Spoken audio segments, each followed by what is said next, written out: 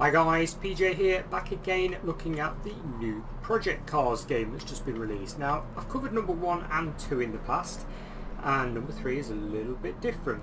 The aim of this video is to show you all the settings and options and basically how it performs on an RTX 2060 at 1440p. So you'll see in the left hand corner there, I've got MSI Afterburner running with various little readouts for you guys.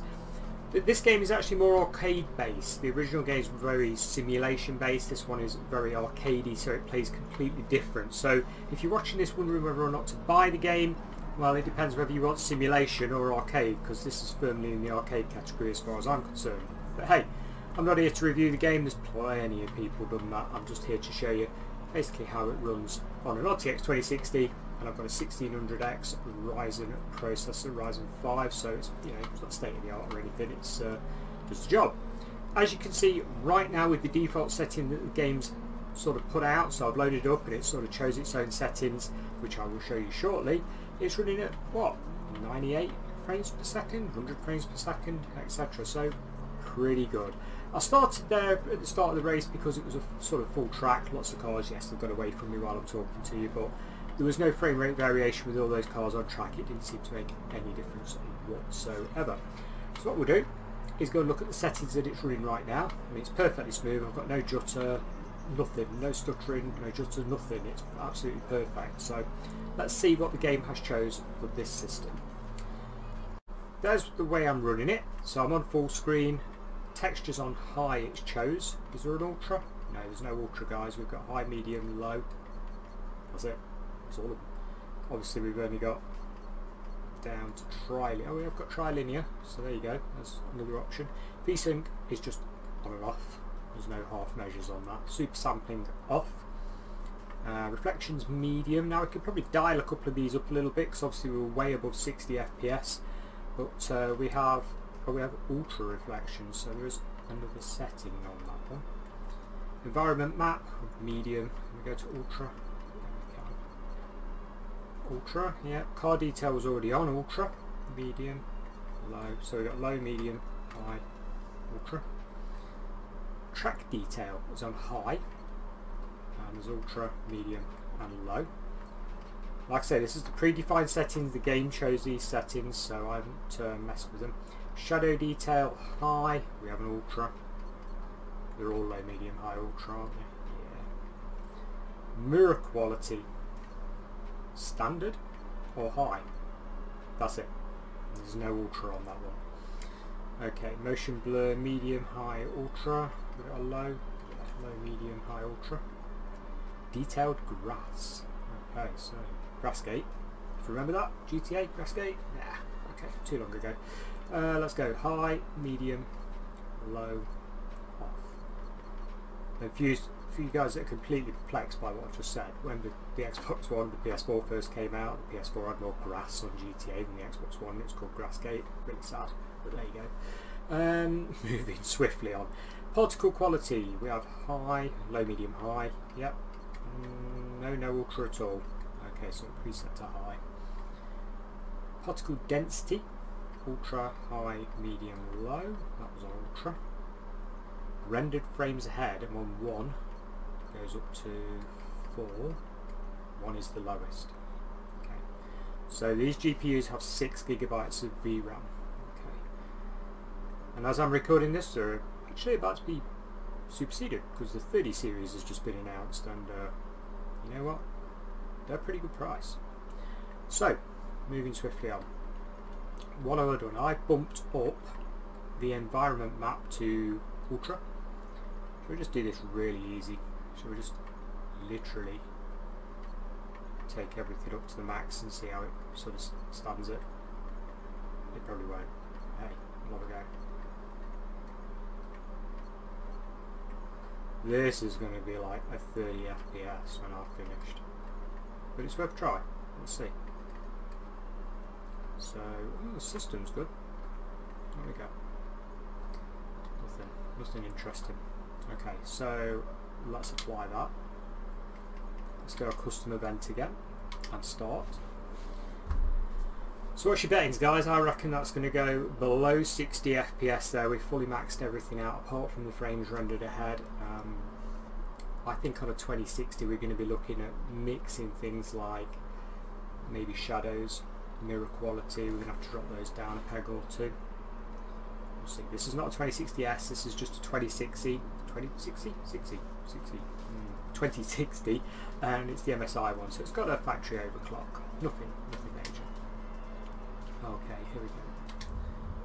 Let's go. Now we're going to have a full track in front of us again. 71. Is it going to buckle? Is it going to dip? Or can we actually run this totally maxed? Looking good up to now. I'm not looking at the racing, I'm looking at the numbers. So GPU usage, 95%. Okay. CPU 44% it says nearly spinning off the track but as you can see yeah we're holding decent FPS whilst hitting a wall 69 did that buckle to 69 I think it did still the lowest it's had up to now I'm trying to keep all the cars in front so you can see any you know pressure on the GPU now if we had rain weather effects. I know on the older project cars that absolutely crippled everything. So let's, let's give that a go. Let's try and tax it because this isn't doing it. This is not knocking it down any. Okay, so let's uh, quit. And yeah, now we'll set the race up for bad weather and uh, see if we can see if we can drop it down a bit.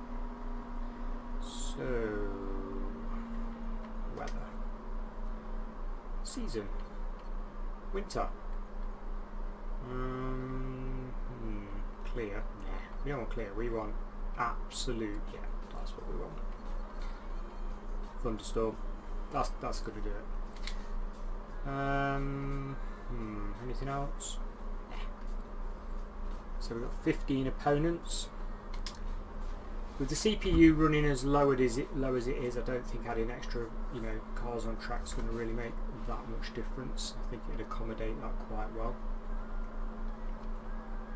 So this seems to run very well. The old Project Cars was a nightmare. I remember running Project Cars 1 on a FX8350 CPU and a 290X Radeon GPU. Oh yeah, it was, it was a tricky one. Let's go. Race. 55 FPS, guys. Look at that. That's done it. We would have to dial back.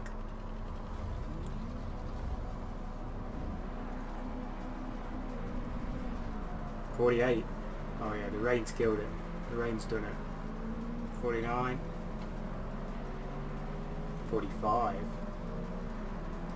Forty-two. Forty. Thirty-nine. Yeah, we're going to have to tweak some of this back to sort of medium, I'm guessing. It actually feels smooth still. I'm on a controller, I'm on an Xbox One controller, and it, does actually still feel smooth. For saying that the, the FPS is varying quite a lot, it still feels good. We get the gist, don't we? We can see what's happening there. Okay, so how well does it scale? Let's have a look. This is only using 3.5 gigabytes of VRAM. Uh, no, sorry, normal memory. Let me get that right. Sorry, 3.5 gigabytes of VRAM and 9.5 gigabytes of normal memory. So 9.5 gigabytes of normal memory It's not going to run on your 8 gig system. So let's quit. Stick this on low and see how much VRAM it uses. So, for example, you guys with the GTX 970, 3.5 gigabytes of VRAM, usable VRAM that is. Um, let's see. We go across to performance. So, reflections, we'll put them on medium. Environment map. You know what, let's see how low we can go. Let's see what the base system is this would run on, yeah? VSync off. give us a true readout that way. That's what I was thinking. This is going to look rough.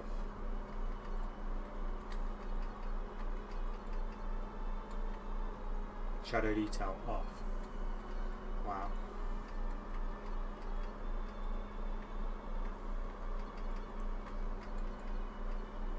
There off? No, just a low. Particle density. Low. Now, I would imagine if you were in a, a base system, you could run this at what, 1080p? Um, we go to 1080p if we can.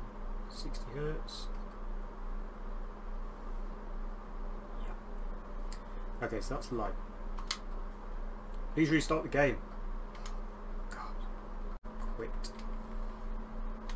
And yeah, now we'll set the race up for bad weather and uh, see if we can see if we can drop it down a bit. So weather. Season. Winter. Um, hmm, clear. Nah, we don't want clear. We want absolute. Yeah, that's what we want. Thunderstorm. That's that's going to do it. Um, hmm, anything else? So we've got 15 opponents. With the CPU running as low as it low as it is, I don't think adding extra, you know, cars on track is going to really make that much difference. I think it'd accommodate that quite well. So this seems to run very well. The old Project Cars was a nightmare. I remember running Project Cars 1 on a FX8350 CPU and a 290X Radeon GPU. Oh yeah, it was, it was a tricky one. Let's go. Race. 55 FPS guys, look at that, that's done it. We would have to dial back.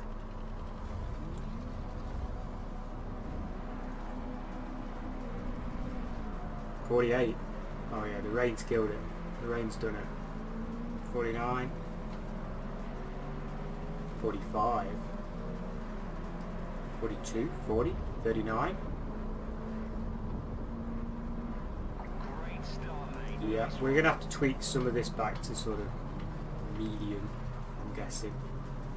It actually feels smooth still. I'm on a controller, I'm on an Xbox One controller, and it, it does actually still feel smooth. For saying that the, the FPS is varying quite a lot, it still feels good. We get the gist, don't we? We, can see what's happening there. Okay, so how well does it scale? Let's have a look. This is only using 3.5 gigabytes of VRAM. Uh, no, sorry, normal memory. Let me get that right. Sorry, 3.5 gigabytes of VRAM and 9.5 gigabytes of normal memory. So 9.5 gigabytes of normal memory is not going to run on your 8 gig system. So let's quit. Stick this on low and see how much VRAM it uses. So, for example, you guys with the GTX 970, 3.5 gigabytes of VRAM, usable VRAM that is. Um, let's see. Go across to performance. So, reflections, we'll put them on medium. Environment map.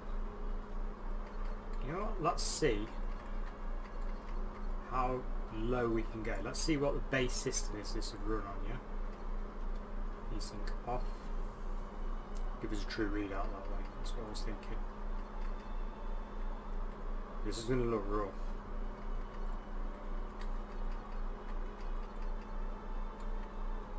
Shadow detail off. Wow.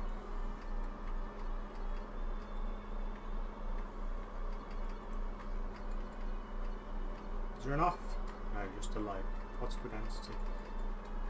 Low. Now, I would imagine if you were in a, a base system, you could run this at what, 1080p? Um, we go against 1080p if we can. 60 hertz. Yeah. Okay, so that's low. Please restart the game.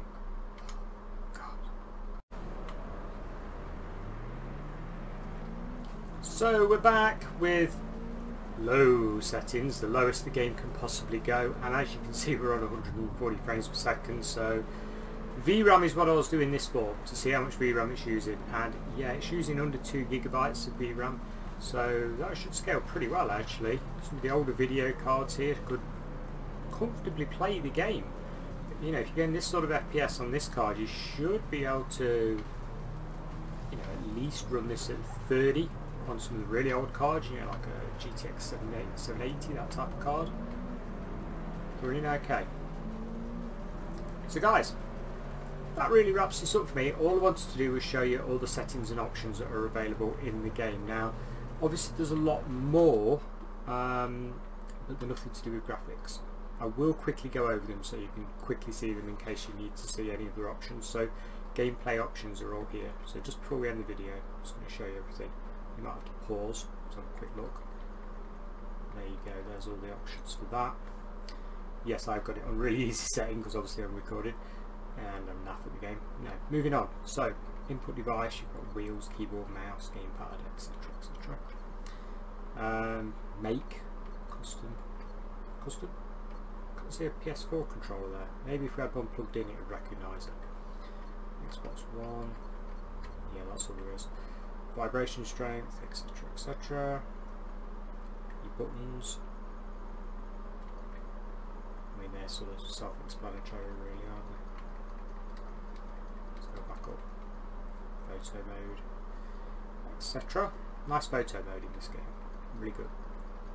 Really easy to use.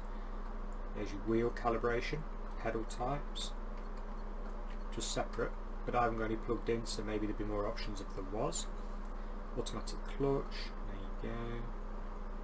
Let's go down these. There's your hood. turn all that off for realism. There's your visuals. There's your audio. So, dynamic range, what options have we got here? VR panning type because obviously it's a supported VR game. And that's it. That's every single one. That's it guys. That's a wrap. Hopefully it helps somebody out there who wants to know what settings and options it is. Maybe you know you want to know how well it runs on a similar spec computer. Now you know. Thanks for watching. Catch you again on the next one